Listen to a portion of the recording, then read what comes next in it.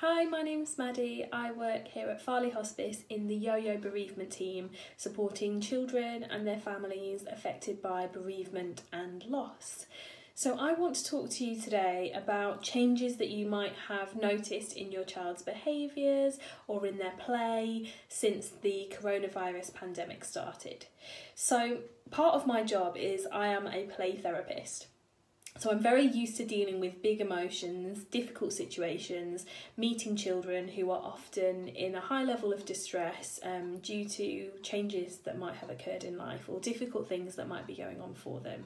So, how play therapists help children is they help them to express themselves in a way that they can play out their experience rather than having to use words to describe what's happening for them. And this is really because for children it can be quite hard to verbalize their feelings and the things that are going on around them. Usually, their natural form of communication is by playing out their experiences which is why you might have noticed things being slightly different with your child and their play since they've maybe been at home more, since they've been affected by the coronavirus pandemic. And I want to reassure you that it's really normal to have noticed those changes. And I'm sure that there's lots of people out there at the moment who are maybe a little bit concerned about some of the things that they might have seen their child play or they might have talked about with their child. So, play is really important because it helps children to develop language, it helps them to communicate, it helps them to express themselves, and it's really the way that they experience the world, the way that they can process things that have happened to them. So, if your child is at home and they're playing with Lego or dolls or various other toys, um, creative materials, that's a really positive thing because they're having an opportunity to express themselves. You might feel a little bit concerned, however, if you've noticed that your child is suddenly drawing pictures of things that seem quite violent or aggressive, or it might be that they're doing lots of play around hospitals and doctors and nurses and wanted to play with a doctor's kit more often and things like that. It might be that you've noticed that they've been doing a lot of superhero based play and around things being quite difficult. It might be that you've noticed your child playing out themes of death or perhaps asking more questions about death and dying. And for a lot of parents, that can feel quite uncomfortable or quite difficult. Um, I know that a lot of children are really curious about death, and so they will play out those experiences or ask the people around them. But for those of us who spend a day to day time with our children, it can seem really strange that all of a sudden they're playing out themes of death in their play. And obviously, we know that children do play out their experiences.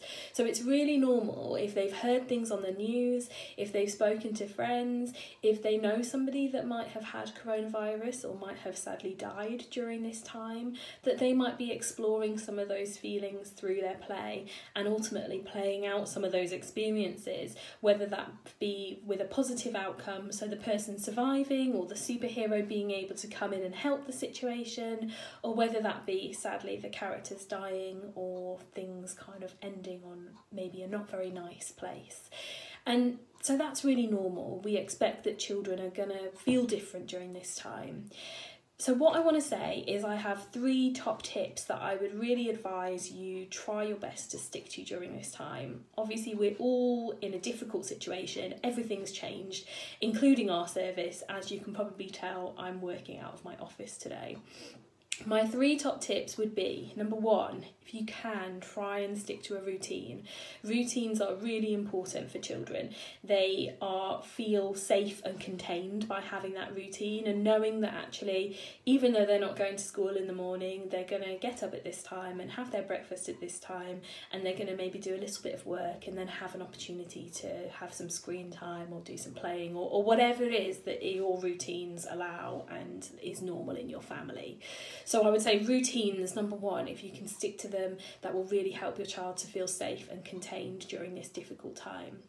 Number two, don't stop your child from playing. So remember that even though they might be changing their play, things might be coming out around death and things that seem a little bit violent or strange to you, it's really important that they can express that in a healthy way to them. And actually, if they're getting that out through their play, that might be that they're making sense of what's going on and that actually they don't want to behave like that or they don't want to, you know, hurt anybody, but they're kind of thinking about actually how things around them are changing.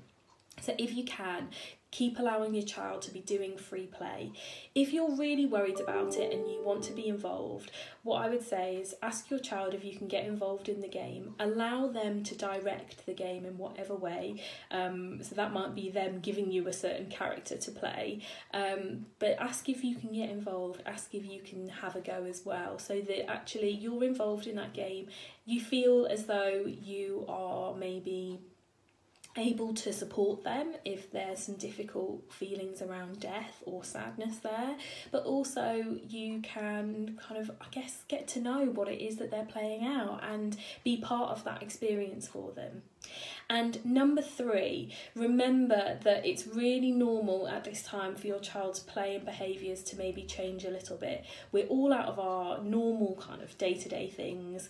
Um, children are mostly at home and not really at school. They might be doing more playing than they would normally do, they might be spending less time with their friends. So remember, it's really normal to have noticed those changes, and it doesn't mean that there's anything really horrible going on for them. It just might mean that they're curious about the things going on in their world at the moment.